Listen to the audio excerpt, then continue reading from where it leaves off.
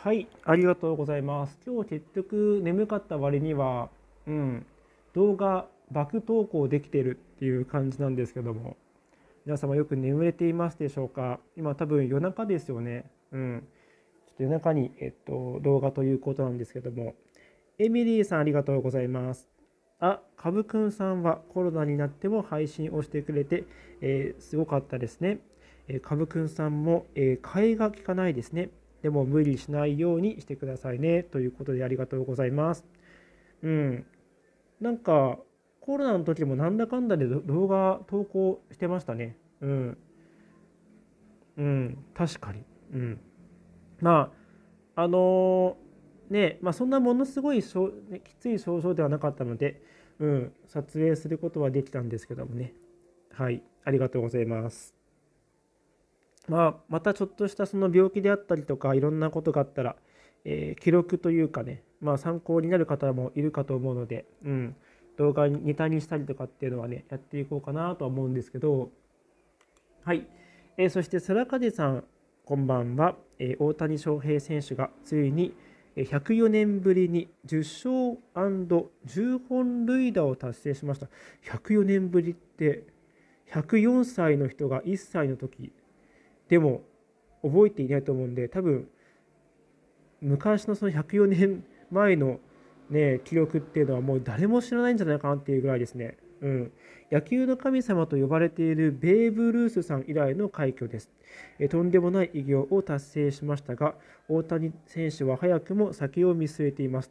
ってことは、これかなり日本で相当盛り上がったことだと思うんですけど、この先どんな風景が待っているのか楽しみですね。で、羽生さんと大谷選手、どちらにも言えることですが、どんな時も謙虚に、そして誠実であり、向上心の塊ですね。うん。2人は同じレベルでの偉人であると思っています。そして大谷選手は岩手県の奥州市出身です。世界遺産の中尊寺がある平泉町の隣の市となります。奥州市の名物は前沢牛です。中尊寺の観光に出かけた際と一関市にある道のくあじさい園に出かけたときは奥州市まで足を伸ばして前沢駅の近くの前沢牛を扱う飲食店で前沢牛を食べましたがお肉が柔らかくてとても美味しかったです。店内には大谷選手出演の前沢牛 PR ポスターもありました。うんえー、そして中尊寺と道のくあじさい園はどちらも私から株さんにおすすめしたい観光地ですね。ということですね。うん。あのお肉美味しいということなんで、うん。そこばっかり今頭いっちゃってますね。で、これから多分夜ご飯なんですけど、急にお腹空いてきましたね。うん、この前もなんかお寿司の話コメントでいただいてすごくおあのお腹空いてきてコメントで食事の話されるとお腹空きますね。はい。続きまして、かよだいさん、ありがとうございます。えー、羽生さんの生配信動画の、えー、かぶさんの解説、えー、着眼点も面白くてパーフェクト。あ、ありがとうございます。うん。消毒の件でしょうかね。消毒、霧吹きの件でしょうかね。羽生さんの床でのジャンプ、結構狭い間隔でも、え、飛ぶのですね。カブさんは過去のいろんな選手の試合の様子を瞬時に思い出せるところ感心しています。頭が良すぎるんだと思います。勉強ができるということの頭の良さではないですが、その頭の良さがたまに負の連鎖を生む場合もあるのかしら。うーんとね、あの頭がいいかどうかはちょっと分かんないんですけど、ただあの、一つのことに熱中しすぎてですね、何も周りが見えなくなるっていうことはあります。でそれゆえにあの問題が発生したりとかっていうことはよくあるんですよ。うん、なので、まあ、結構それもあったりとか、まあ、人とのコミュニケーションっていうのがネットだとまあできたりはするんですけど実際にあったりすると結構できなくなったりとかするんで、うん、まあ難しい部分はあるかなと。で、まあ、友達とかできても結構まあ失言であったりとか結構言っちゃってあれ？悪気あっなかったのになっていうこととか結構あるんですよ。うん、自分全然悪いこと言ったつもりはないって言っても、まあ、友達が離れていったりすることがあるんで、もしかするとそういう失言とかっていうのはポロってね、出てる可能性あるんですよね。うん。はい。なので、まあそんな感じですので、まあ、選手の試合については、まあ、結構やっぱり、うんまあ、見てるものに関しては、うん、やっぱりあの見てたりもするので見続けたりもするので、まあ、結構、うん、頭に入ってるんですけどもねはいそうだから結構ねトラブりトラブりますよえー、貞影さんどうもです。えー、株さんも早起きしようとトライして、お疲れだと思うので、いつもより早めにお休みになられた方がいいかもしれません。本日はお疲れ様でした。うん、ありがとうございますって言って起きてるんですですけどもね。うん。そうそう、結局ね、起きてるっていうね。うん。はい。えー、そして、ゆうのエアさんどうもです。マリンちゃん頑張ってほしい。いや、本当ですね。うん。そうそう、マリンちゃんお願いだから一発奮起してほしい。うん。来てほしいね、本当に。えー、そして、かぶさん、今日は山の日です。あれ？今日って、なんか山の日ってことは、8月11日が山の日ってことかな。かぶさんは登山はしますか？私は絶対に登らないです。ベルギーにも登山が趣味としていますかなんで登らないんでしょうかね。うん。僕はね、ぶっちゃけ登山は、まあ30点ぐらいかな。うん、好きとは言うと。まあ、あの、鉱山とかちょっと苦手ですけど、まあ、ベルギー、僕の知り合いとかで登山が趣味の人ってあんまりいなくて、うん。まあ、ベルギーにも、まあ、山はありますけど、うん。あんまり大きくないですね。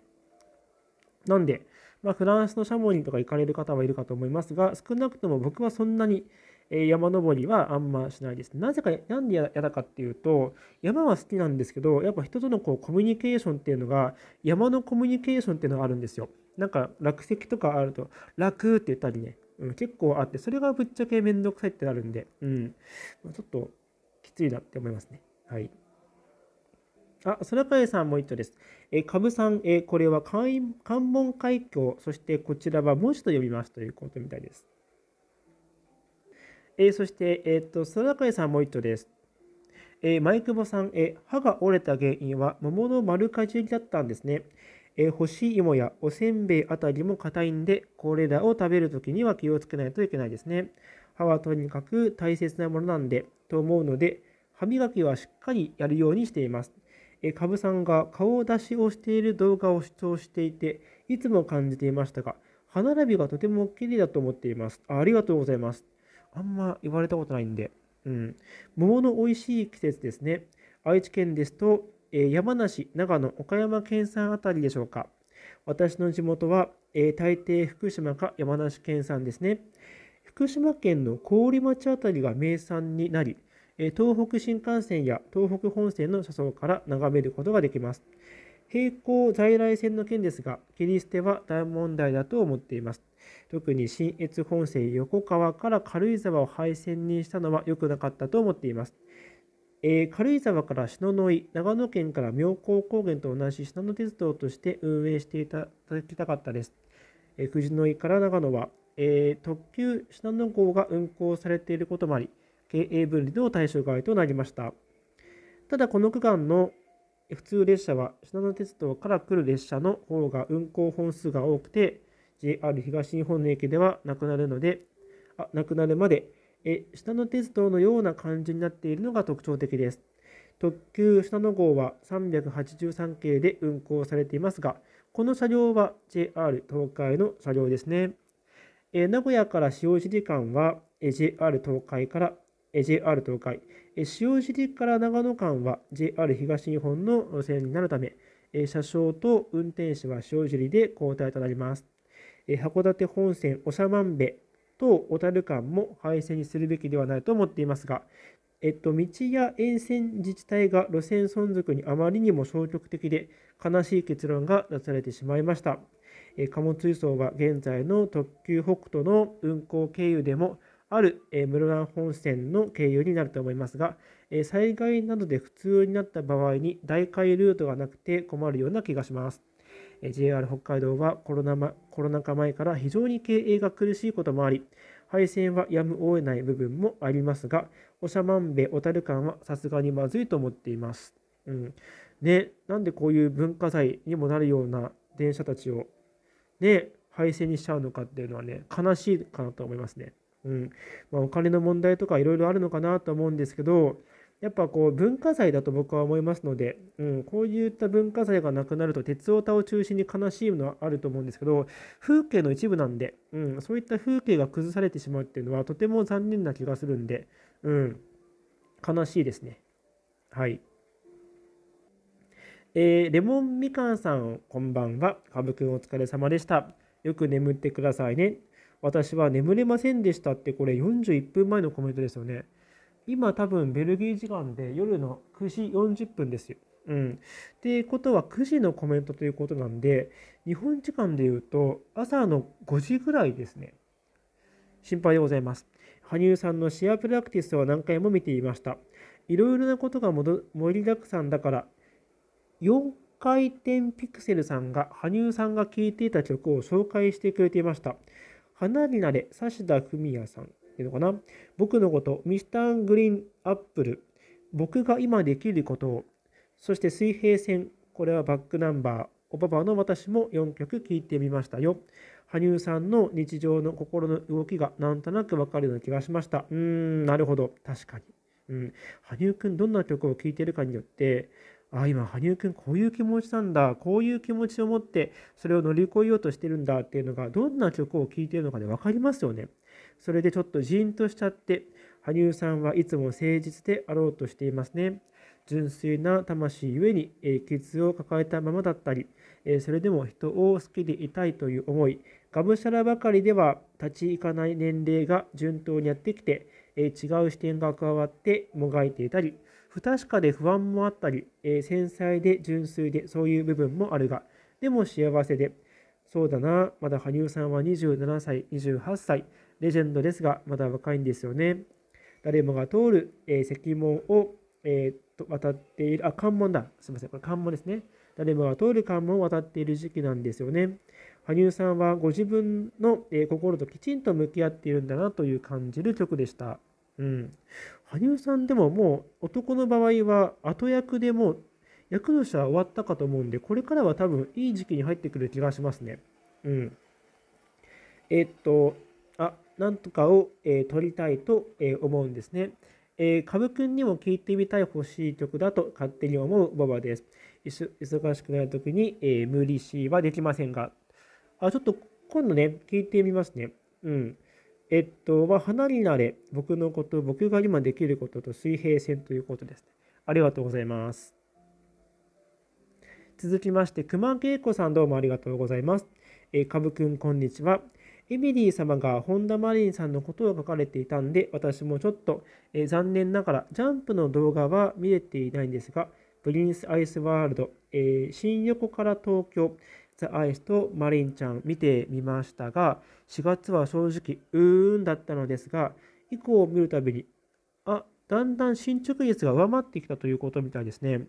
もともとスケーティングやスピンはとても好きだったんで、ジャンプが決まると表現も際立つし、スタイルも容姿も恵まれているし、本当に今シーズンは期待しています。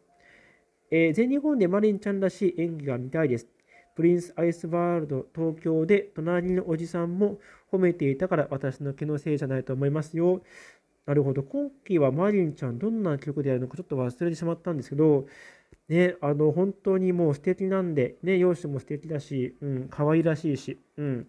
なので、ぜひね、えっと、うん、一発奮起してほしいなと思うんですけど、彼女は多分全日本に出るためには、昨シーズンと同じように予選会を勝っていかなければいけないかと思いますので、そこでしっかりと成績を残して、うんえー、上位に行ってほしいなと思います。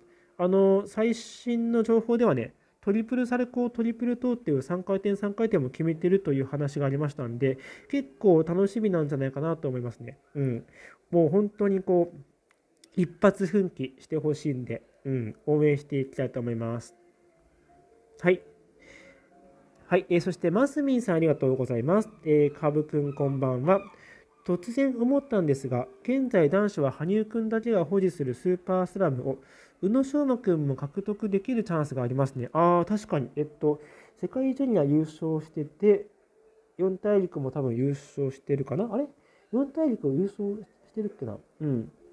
まあ、とりあえずあのジュニア選手権を優勝してるので、なので、チャンスがあるかなと思うんですけど、翔馬くんは世界ジュニアとジュニアグランプリファイナルと4大陸と世界選手権を持っているから、あとはシリアグランプリファイナルとオリンピックの金、あ4大陸持ってますね。うん、そっかそっか。シニアグランプリファイナルとオリンピックか。あ、そうだ、ファイナルそうだったんだ。うん、2017年のネイさんとの戦いで負けたんだ、あの時。負けたんだ。うん、ギリギリで勝てた。あの時ね、あともう一個成功してればね、勝ったのになってね、もう時短な踏んでましたね、僕はね。うん、グランプリファイナルは何事もなければ次のオリンピックまでに3回はあるし、翔馬くんのこのままの進化の様子だと、えー、ミラノで金も十分ありえます。そうですね、うん、本当その通りだと思います。え現在、他の日本の選手も含め、現在でジュニアの、あの世界でジュニアの世界と、えー、ジュニアグランプリファイナルのタイトルを持っている現役選手はいないのです。ネイサンは世界ジュニアを持っていなかったし、マリニン君はジュニアグランプリファイナルを持っている。ああ、もったいないね、マリニン君。うん。マリニン君はコロナで中止がなければ可能性があったかもですね。マリニン君は今年のグランプリシリーズのエントリーを17歳でシニアにしています。うん、まあ、ジュニアだったらジュニアで今季出てて、うん、獲得していけばいいなっていうには思うんですけど、うん、ジュニアの方に出場ができたと思いますが、連盟が出場選手を選出するため、自由に選べないのか。ああ、なるほど。株君分かりますか？いや、ちょっと分かんないですね。うん。連盟が出場選手を選出する。ってことは、本人が世界、あの、ジュニアの枠を選んだとしても、選びたかったとしても、これは連盟が決めるっていうことなんですか？逆に知りたいですね。うん。これはちょちょっと初めてです。どうなんだろう。逆に分かる方いますかねちょっと分かる方いたらコメントいただけると嬉しいんですけど、これ連盟が決めるのかなアメリカの場合はそうなのかなうん。日本では確かジュニアで選べた気がするんですよね。宇野くんも確かドーファンの時は、えっと、世界のシニアに戦えたと思うんですけど、あの時彼自身がジュニアを選んだ気がするんですよ。うん。かもしかしたらいける気がするんですよね。渡辺渡辺凛香さんも、確かその過程でシニアだったんだけど、ジュニアの世界選手権に行った気がするんですよ。確か。うん。確かそんな気がするんですけどね。え、羽生くんが男子初で唯一のスーパースラムの2人目を再び日本の男子選手から出たら素敵ですね。うん。ですよね。だから、ネイサンチェンも取れてないと思うので、うん。ぜひ、宇野くん、目指してほしいなと思います。鍵山君は世界ジュニア優勝できなかったんだけど、確か。あの時、そっか、できなかったんだ。だからダメなのか。あ、あの時世界ジュニアじゃなくてユースオリンピックあったのか。だから鍵山君は世界ジュニア取ってないんだっけな、確か。うん。なるほど。えー、松井邦子さんありがとうございます。かぶさんこんにちは。私もロコが好きです。やはりグランプリファイナルのが好きです。あ、ですよね。僕もすごい好きなんですよ。グランプリファイナル。うん。最後のスピンが圧巻でした。それでスピンレベル5を取れたんでしょう。ということですね。まあ一応スピンレベル5っていうのはないんですけど、まあ取りたいですよね。多分あったら取れると思います。うん。まあ、あのそこら辺、あのロコについては、美輪さんからね、えっと、リクエストをいただいてますので、明日、皆様時間で言うと、えっと、明日、今日、本日の、えー、午後それから夕方あたりね、多分紹介できるかなと思いますので、お待ちいただけると嬉しく思います。僕もね、ルコはね、ファイナル好きでしたね。すごいこう、顔もなんか覚悟な顔をしてたんで、うん、好きでしたね。はい。